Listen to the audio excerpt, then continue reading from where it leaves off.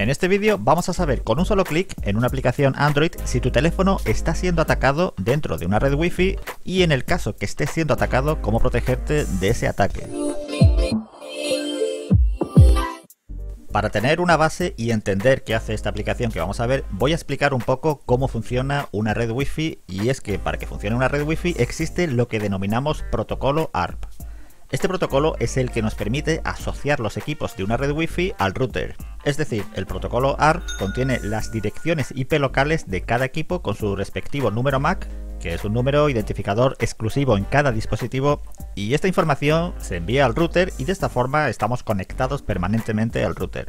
Esto es básicamente lo que necesitamos saber. La mayoría de ataques que se ejecutan en una red Wi-Fi atacan a este protocolo ARP. A estos ataques les llamamos ARP spoofing y dependiendo de la técnica que usen pueden llegar a suplantar la identidad de un equipo haciéndose pasar por él y así poder capturar el tráfico de ese momento como contraseñas o direcciones web, etc. Sobre esto ya hice un vídeo con varios ejemplos y me lo tiraron, me lo eliminaron, así que bueno, sabiendo el concepto es suficiente. Hay una aplicación para Android llamada Netcat que ya no está en Play Store, funciona con permisos root y que suele usarla la gente para gastar bromas o fastidiar a alguien dentro de una red wifi y lo que hace básicamente es lo que estáis viendo, quitar internet a un usuario de esa red wifi que puede ser a un PC o a un teléfono o a cualquier dispositivo. Realiza un ataque ARP spoofing en modo básico, digamos sin captura de datos ni nada, simplemente denegando servicio a Internet.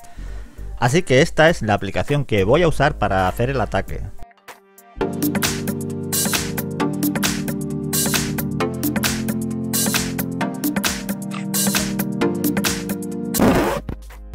Y la que voy a usar para protegerme se llama ARPGuard. Esta aplicación puede funcionar sin root y en el caso de que el teléfono no tenga permisos root, nos va a avisar de si estamos siendo atacados y esto está muy bien, sobre todo si estamos en una red wifi pública o de un bar o de algún sitio público que no sabemos eh, quiénes son el resto de usuarios y cuáles son sus intenciones.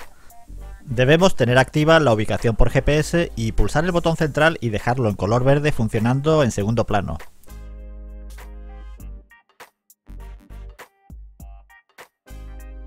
Y podremos saber mediante la notificación que envía la app si nuestro teléfono está siendo atacado. Si pulso sobre esta notificación, al ser un ataque dentro de la red Wi-Fi nos dice la dirección IP que tiene el atacante y la marca del dispositivo, en este caso es un Xiaomi.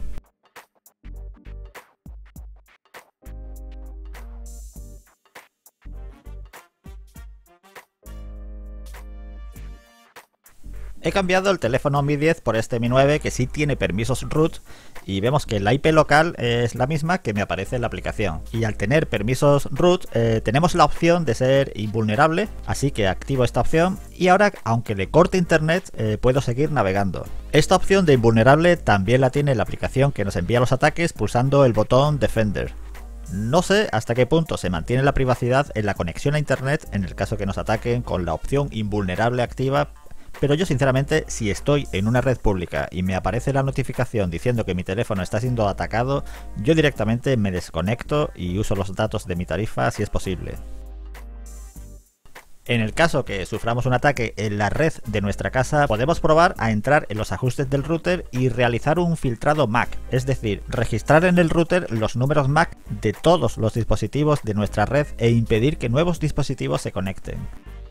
También elegir el protocolo de seguridad VPA2 que por defecto un router moderno ya lo trae activo y con una contraseña que sea segura y que no sea la que trae por defecto el router.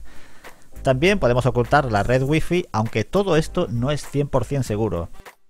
Los números MAC se pueden falsear, se pueden clonar por algún dispositivo ya registrado de nuestra red. De hecho, MIUI te permite cambiar la MAC, aunque en este caso por otra aleatoria.